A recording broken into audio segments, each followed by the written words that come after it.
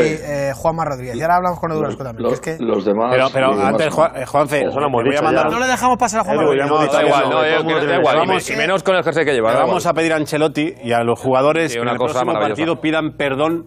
Es pidan que perdón al me- resto de los equipos me dice, me dice, españoles. me dice Javier Apeña que están llegando mensajes en el que el programa está quedando hoy muy culé, dicen. Muy culé. Muy culé. Pues Que el Madrid ha ganado hoy y ha dado casi un golpe en la mesa y que parece que el Madrid tiene que pedir perdón casi por haber, por haber ganado. No, no, en- es que hay que pedir perdón, sí, que Juanma perdón. Rodríguez, venga, Juanma, vente. Muy buenas. Siento Jota, darte un disgusto porque. Miras, la gente del Madrid es tan buena gente. Es tan buena gente Fernando Sanz. Eso es cierto. Óscar es tan buen tío. También es verdad. Paco, eres buen tío, pero no sé si tú lo consideras madridista. No, Sí, sí, madridista también, sí, sí, sí. no, no, no, lo no, Pero sí. madridista. Eres buen tío, Que pero haya sido mm, simpatizante Jorge de pequeño del Real Madrid. Luego, Jorge es muy, muy buena persona, pero no es Madrid- madridista. madridista. Y Damián es muy buena persona, pero, madridista.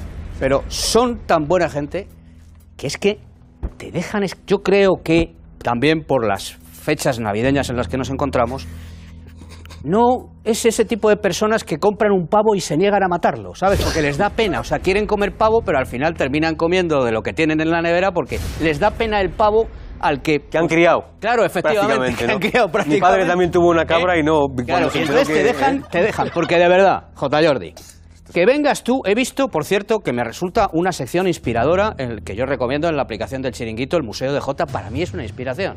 Porque hay veces que no sé por dónde hincarle el diente y digo, aquí está J. Jordi, que siempre es una persona que, gracias al Museo eh, de los Horrores de J. Jordi, te, te- te- te sirve eh, las- los Sí, asuntos. sí, de como inspiración. O sea, que digas J. Jordi. En el, en el museo de J. O sea, hay que entrar no en me la la pierdo, aplicación ¿eh? Hay que entrar en la aplicación del chiringuito. Que digas, eh, perdón, sí. ¿Te esperas un segundito, Juan? Sí, claro. Sí, sí. Jordi en su fantástica sección, el Museo de J. Jordi, que por cierto el museo La app, que es una pasada, ¿eh? está- cada día está más vacío. exclusivo. Cada día está más vacío. Pero bueno, que diga, y ojo, y ojo, y ojo, porque todavía hay liga. Claro.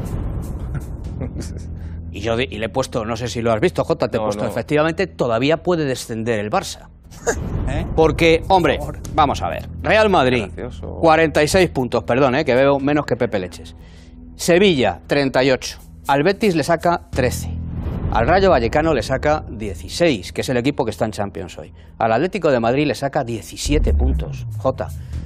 Al Barça le saca 18 puntos. ¿Con un partido más? Jordi Alba. Un partido más. Jordi Alba dijo una famosa frase, dijo, si a nosotros el Madrid nos saca 16 puntos, 18. Ah, 18, fueron 18. justo 18. Si a nosotros el Real 19, Madrid... perdón, 19.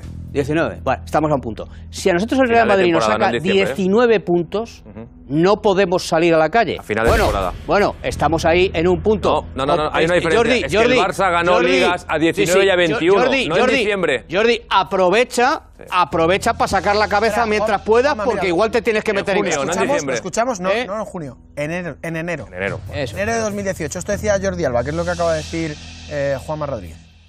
Si el Madrid os sacara